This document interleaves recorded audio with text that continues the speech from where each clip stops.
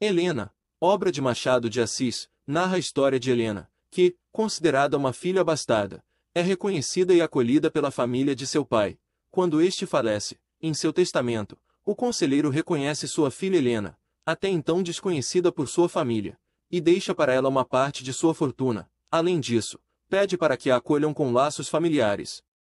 Apesar da resistência de Úrsula, Helena sai do internato e vai viver com seu irmão e sua tia, chegando à casa no Andaraí. Tenta conquistar todos com seu jeito carinhoso, apesar de tentar se afastar. Úrsula acaba precisando de cuidados por causa de sua saúde, e enxerga em Helena uma sobrinha dedicada.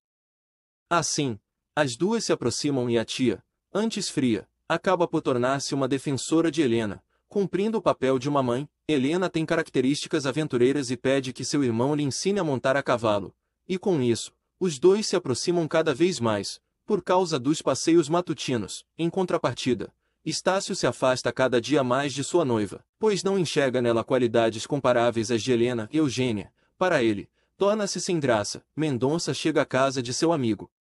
Estácio, após uma longa viagem pelo mundo, e assim que avista Helena, e logo se apaixona por ela. Mendonça pede ajuda ao padre para pedir a mão de Helena, com o consentimento de Helena e do padre.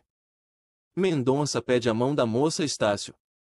Entretanto, Estácio acha um absurdo. Movido pelo ciúme inexplicável que sente por Helena e pela desculpa de não ser um bom pretendente, uma vez que sua situação financeira não era tão boa quanto a de Helena, Estácio recusa a mão de Helena para seu amigo, causando assim uma grande intriga. Após a revelação de que não são irmãos sanguíneos, Estácio escolhe por deixar que Helena continue sendo reconhecida como filha do conselheiro Vale, e assim herdeira dos bens. Mesmo após os dois serem livres para assumirem o amor que nutriam um pelo outro, isso não ocorre Helena acaba morrendo.